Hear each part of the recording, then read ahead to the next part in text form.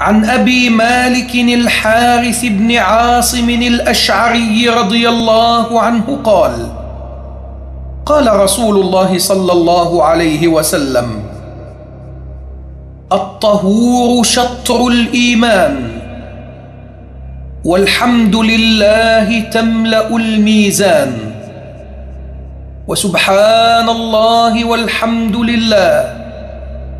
تملأان أو تملأ ما بين السماء والأرض. والصلاة نور والصدقة برهان والصبر ضياء والقرآن حجة لك أو عليك.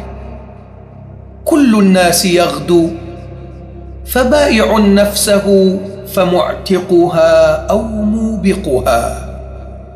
رواه مسلم.